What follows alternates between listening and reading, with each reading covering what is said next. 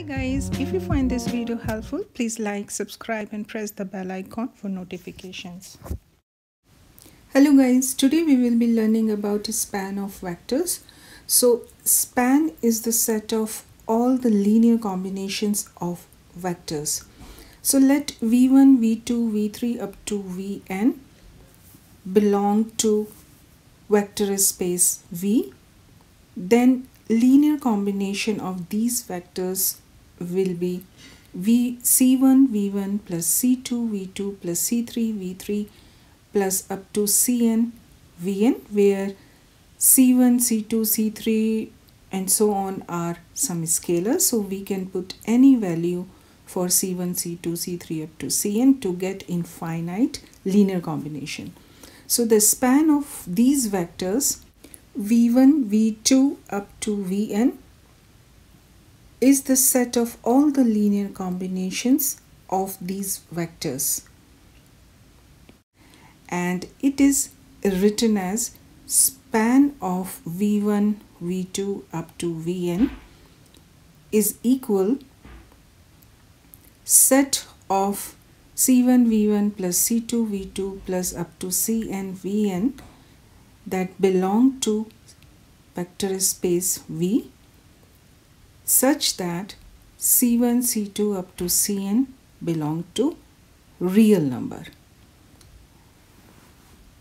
So this curly bra bracket, we read it as a set of and this vertical line, we read it as such that. So set of this linear combination that belong to vector v such that c1 v1 up to cn belong to real number r and this is in the form of set builder notation. For example, the span of vectors 1, 2, 3 and vector 3, 1, 1 is the set of all the vectors of the form c1 v1 plus c2 v2 that is c1 times 1 2 3 plus c2 times 3 1 1 where c1 and c2 are some scalars. So we can put any values for c1 and c2 to get infinite number of linear combinations. Now let's discuss about the span of vectors 0, 1, 0 and 1, 0, 1. So the linear combination of these two vectors will be C1 times 0, 1, 0 plus C2 times 1, 0, 1 that will give us 0, C1, 0 plus C2 0 C2 that is C2 C1 C2 where C1 and C2 are some scalar. So as we can see here the first and the third entries are same therefore span of vectors 0 1 0 and 1 0 1 is the set of all the vectors in R3 whose first and third entries are same. Like 1 2 1 3 2 3 1 3 1 7 10 7 etc so in all these vectors first and third entries are same. So there could be infinite such vectors. Now let's discuss about this span of vectors 1, 0, 0 and 0, 0, 1. So here linear combination of these two vectors will be c1 times 1, 0, 0 plus c2 times 0, 0, 1 that is C100 plus 00 C2 and we will get vector C1, 0, C2 So as we can see here, second entry is 0. So span is the set of all vectors whose second entry is 0.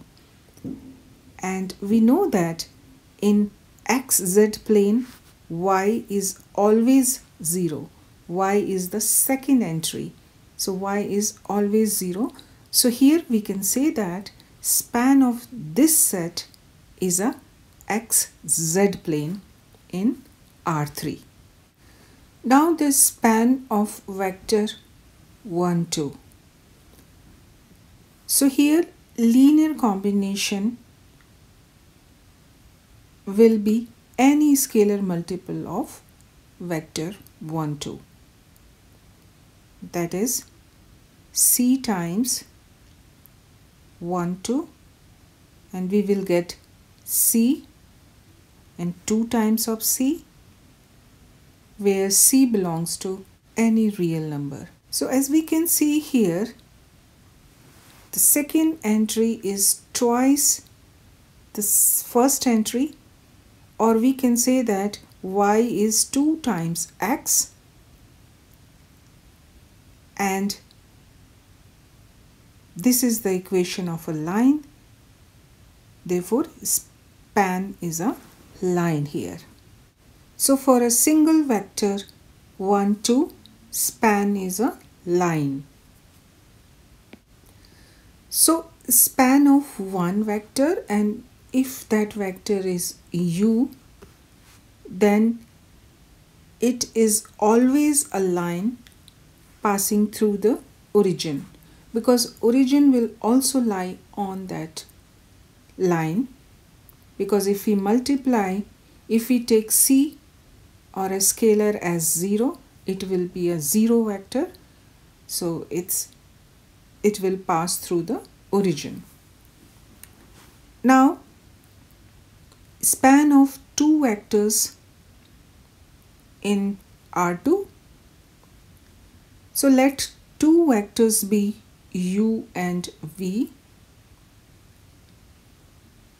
Then if vector u and vector v are scalar multiple of each other that is if they are dependent on each other then span will be a line because they both will represent the same line so if they are dependent then span will be a line.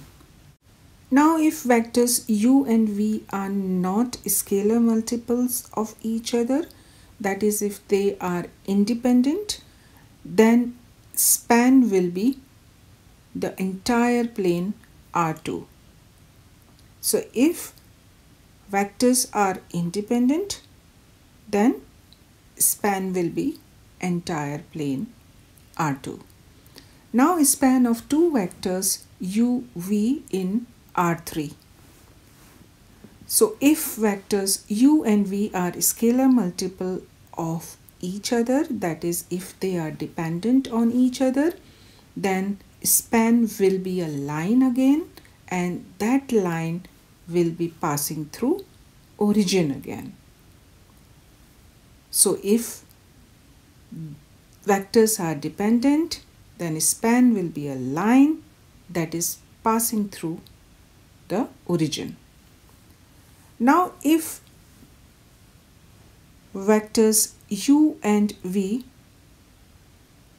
are not scalar multiples or if they are independent then span will be a plane that is passing through the origin because origin will also lie on this plane. So if they are independent, then span will be a plane passing through the origin. So similarly, we can say that span of two vectors in Rn is a plane and that plane will pass through the origin in n-dimensional space.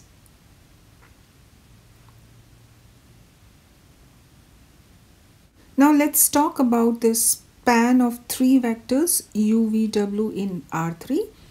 So if vectors are independent, that is if they are not scalar multiple of each other, then span will be a 3D shape or a 3D figure. So if vectors are independent, span will be a 3D space. And if any two vectors are linearly dependent, that is a scalar multiple of each other, then span will be a plane that is passing through the origin. So if any among these three vectors, if any two are dependent, linearly dependent, then we will get plane as a span of these three vectors. Now, if all three vectors are dependent on each other, that is if they are linearly dependent or all are scalar multiple of each other, then span will be a line passing through the origin. So, if all three vectors are dependent, then span will be a line and that line will be passing through the origin. Now for the span of three or more vectors in R2. So for that we will check if any two vectors are independent that is if any two vectors are not scalar multiple of each other then we take those two vectors and ignore all the other vectors? Or we can say that they are all redundant. The other vectors are redundant. So we just keep two independent vectors to find the span. For example vector v1 is equals to 1 2 vector v2 is equals to 3 4 and vector v3 is equals to 3 6 be three vectors.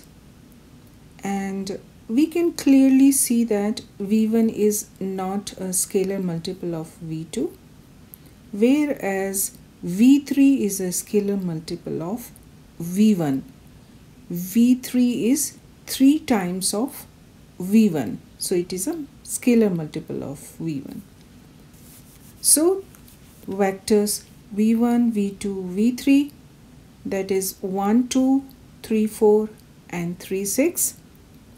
So these two are independent vectors and v3 is dependent on v1 so we can ignore it. So the remaining two vectors are 1, 2 and 3, 4 and we know that span of two independent vectors is a plane. Now let's take three vectors again v1 v2 v3 where v1 is 1 2 v2 is 2 4 and v3 is 4 8 now we can clearly see that all these vectors are scalar multiple of each other. That is they are dependent on each other. Because v2 is 2 times of v1 and v3 is 4 times of v1 so out of these three we can keep this one and ignore these two. So remaining vector is 1 2 so we have only one vector here and we know that a span of one vector is a line So we can remove linearly dependent vectors without affecting the span. Our next topic is matrix equations. Thanks for watching.